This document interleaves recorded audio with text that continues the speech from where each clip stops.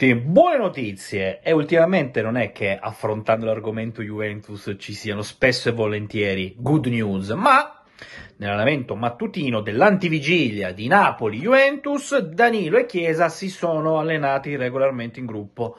Cosa significa questo? Che a meno che domani non arrivino segnali negativi, ma non sono minimamente dietro l'angolo, entrambi partiranno per Napoli. Poi, ovvio, starà ad Allegri decidere se concedere loro la partenza dall'inizio o meno, ma mh, mm, le indicazioni di oggi sono molto nette e quindi nel momento che Danilo e Chiesa hanno lavorato in gruppo, partono, partono con la squadra.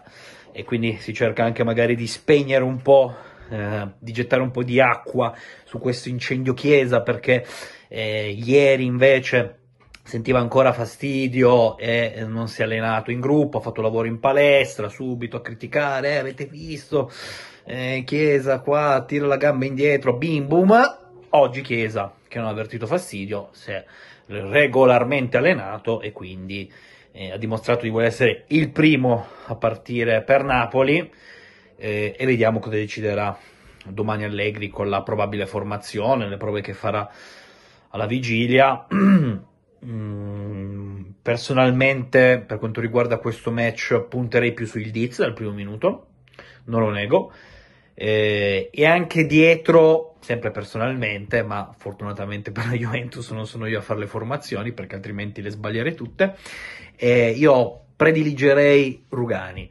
Quindi Danilo, quando è rientrato dagli acciacchi in questa stagione, ha faticato a mettersi in mostra nel modo giusto a prendere i giri corretti. E quindi visto che la gara di Napoli sarà molto dispendiosa sia dal punto di vista mentale ma soprattutto dal, vis- dal punto di vista fisico non lo so, io cercherei di andare più con, con Rugani a sinistra proponendo il trio Gatti-Bremer, giusto appunto.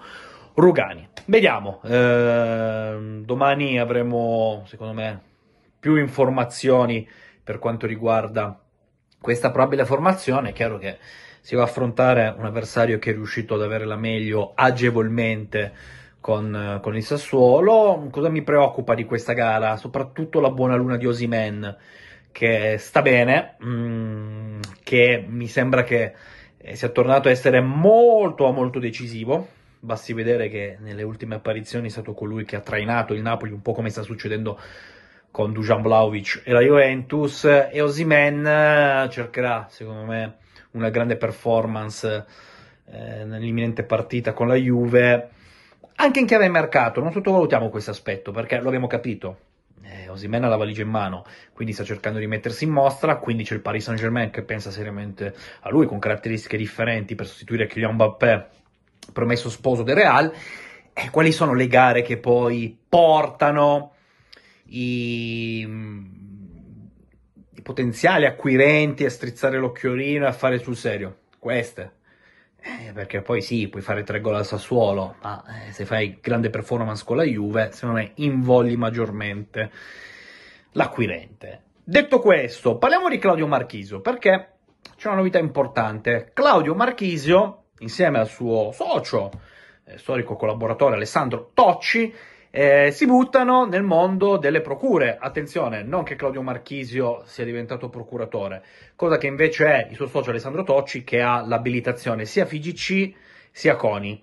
Quindi semplicemente eh, hanno messo su da oggi ufficialmente questa struttura dal nome Circum, una football player agency, che annovera tra le sue fila già diversi talenti eh, magari questi nomi oggi possono dire poco, ma vi garantisco che nella scuderia Marchisio Tocci questi ragazzi hanno grande potenziale. Faccio riferimento a Francesco Stante dell'Inter, faccio riferimento a Filippo Reale della Roma, faccio riferimento a Davide Dell'Erba, talento italiano di proprietà del Bayern Monaco. Poi comunque hanno anche calciatori di esperienza come Loris Karius, no?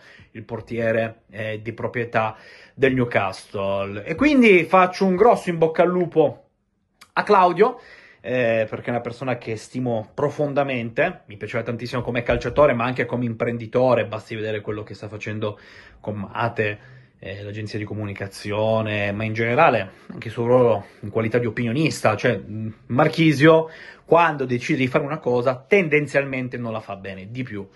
E creare questa football player agency secondo me ehm, è un atto anche di coraggio, un atto anche di coraggio all'interno di un mondo, e ve lo garantisco, è sempre più saturo, perché eh, ci sono tante agenzie, tanti procuratori, tante persone che alleggiano attorno poi alla materia prima, che sono i calciatori.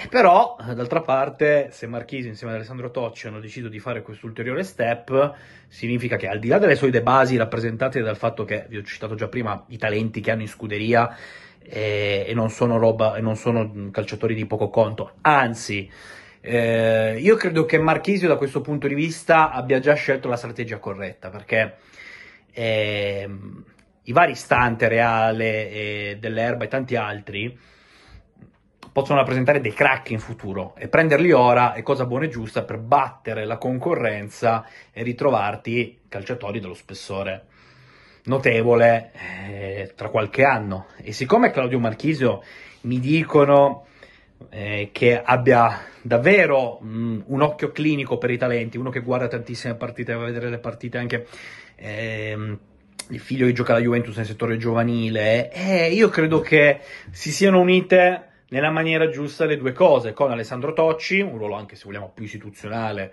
con tanto come vi ho detto di abilitazione FIGC e CONI, quindi poter al 101% eh, esercitare questa professione, e Marchisio che è comunque un brand nel brand, che al di là del fatto che se ti chiami Marchisio, eh, no, già traballi di per sé, però ha anche una profonda conoscenza del settore, è stato un grandissimo calciatore, ma mi dicono che abbia davvero anche l'occhio dello scout. E quindi io apprezzo, apprezzo chi si mette in gioco e chi decide poi attraverso la sua struttura di dare lavoro agli altri.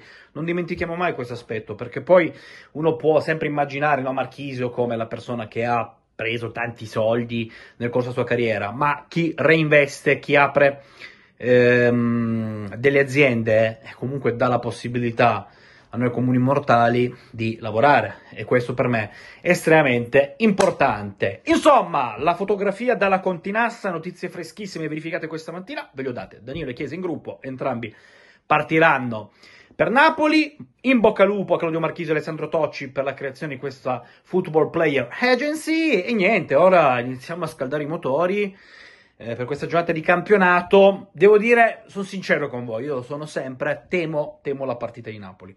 Temo la partita di Napoli in relazione alle ultime 5 proposte della Juventus, in relazione anche del momento del Napoli che deve fare una gara giusta per presentarsi col miglior biglietto da visita in quel di Barcellona successivamente. Eh, questa è una gara che per loro può rappresentare molto, è anche una delle ultime chiamate in chiave qualificazione Champions a meno che non la vincano, in campionato, perché oggi come oggi anche la quinta italiana andrebbe in Champions, ma eh, battere la Juventus consentirebbe loro di ricaricarsi un po' dal punto di vista mentale. Forse, dico forse perché non abbiamo ancora la controprova, le partite sono poche e si parla solamente di un successo, questo allenatore, rispetto a Mazzari e Garcia, mi sembra che empaticamente, non parlo di tecnica, di tattica, abbia fatto maggiore presa rispetto ai due predecessori con il gruppo e quindi per tutti questi motivi e l'aspetto Simen, non sottovaluto Kvara, un po' la temo. Piacere i commenti, se vi è piaciuto iscrivetevi al mio canale YouTube, mettete un bel like a questo video e attivate la campanella.